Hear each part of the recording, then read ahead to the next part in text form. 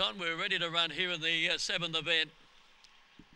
There's that Auburn running now, bouncing out in front there uh, towards the centre with Swiss Roll Cloud, moving up on the outside. Sister Nose as they run around that first turn.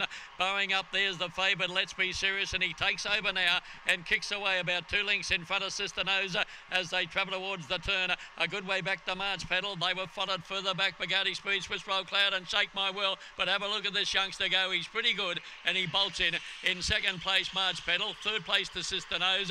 Over on the inside, Bugatti Speed, followed by Fab Maui. The next one in was Divers McCurry, Shake My World, and one of the last to pull up was Swiss Roll Cloud.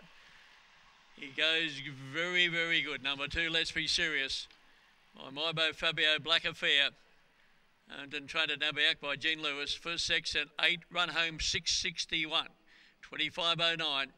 Number two, Let's Be Serious, the winner. First section, eight, 1848, 2509.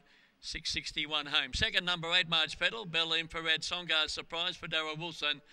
Number seven, Sister Nose, Cosmic Rumble, Missed on Bell for Michelle, uh, Michelle Edmonds.